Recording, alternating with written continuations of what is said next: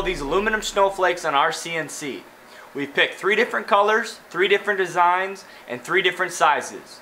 You can configure them for a nice wind chime for outdoor use, or bring the small and medium ones inside and hang them on your Christmas tree for a fun DIY ornament. We also engraved a couple for a nice personalized touch. ToolsToday.com is my source for solid carbide, carbide tipped, and carbide insert bits and tooling for my CNC. I also love their free shipping options. Stick around, hope you enjoy. Three sections of 3 16th inch thick aluminum that were 24 inch square. I sanded them down to remove any nicks and scratches and then primed them using a special aluminum primer that you can pick up at a local big box store or online. I then sprayed each panel a different color, red, green, and gold. I will post an Amazon link in the description for these paints. To keep the parts from being damaged as they are cut away from the sheet, I'm using double-sided tape to keep them in place. I load the section of aluminum on my CNC bed and hold it down with aluminum clamps. To engrave the names into the snowflakes, we will be using Amana tool number RCK-380 with a feed rate of 5 inches per minute, 24,000 RPMs, and a step down of 1 32nd of an inch.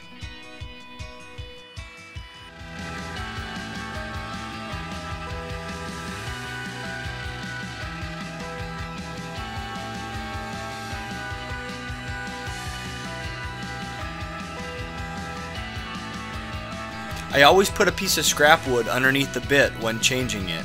As the bit is released, it won't damage your work.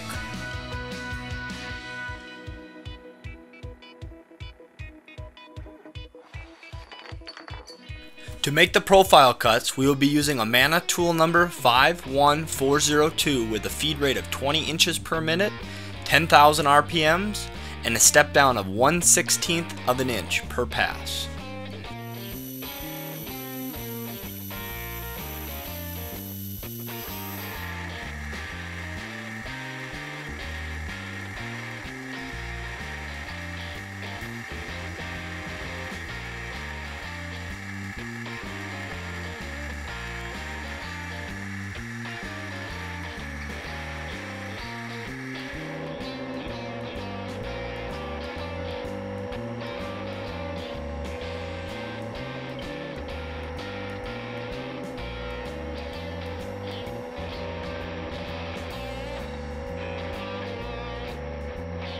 I was getting a little chatter with the double-sided tape and the clamp, so I decided to use mechanical fasteners to get a more rigid setup. I drilled each corner and the midpoint of the aluminum sheet. I then pre-drilled the spoil board to prevent mushrooming and drove a screw.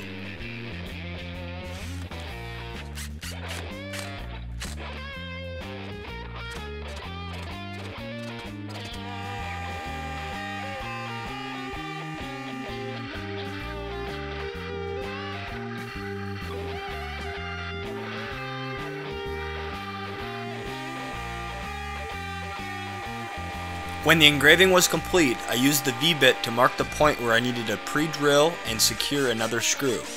I used the computer screen and positioned the bit in between the snowflakes so I would not risk damaging the bit. This provided a much more rigid setup and the chatter discontinued.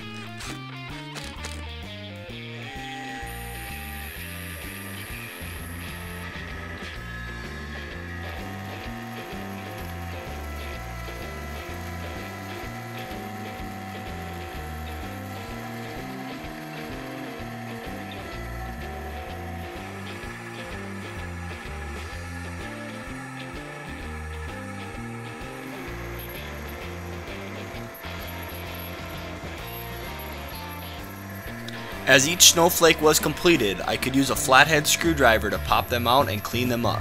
I removed the double-sided tape and used a brush to remove any chips.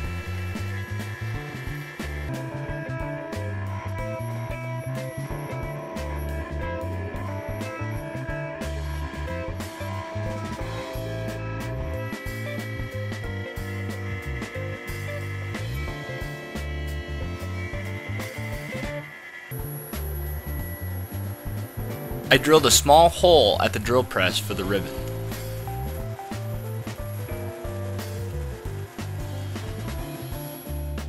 I used a small countersink bit to remove the burrs on each side of the hole.